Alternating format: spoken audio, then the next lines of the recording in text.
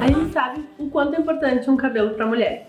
E uma das coisas é que a gente sabe que quando a gente está incomodada, a primeira coisa que a gente quer mexer é nos cabelos.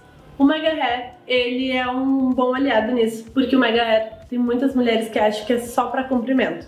E na verdade não. A gente pode trabalhar com o Mega Hair somente, por exemplo, num cabelo fragilizado, a gente pode usar o Mega Hair somente para fazer as mechas do cabelo.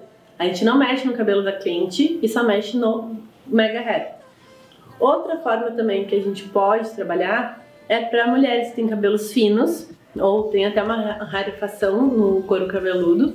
A gente tem uma técnica de nanocápsula que ele pode ser aplicado que não vai aparecer no couro cabeludo. Isso é uma coisa que a gente sabe que devolve a autoestima de uma forma inexplicável e pode ser trabalhado de várias formas. Para volume, para comprimento ou para os dois, a gente pode trabalhar com as mechas inteligentes.